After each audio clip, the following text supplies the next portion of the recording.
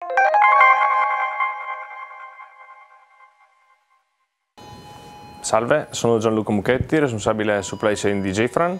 Eh, ho portato la mia esperienza mh, del mercato cinese e delle opportunità che questo mi ha eh, dato modo di conoscere. Il mercato cinese eh, si caratterizza per eh, grande velocità e flessibilità nella supply chain e credo che questi siano due aspetti su cui anche qui eh, nel nostro mercato locale sia opportuno lavorare e migliorare.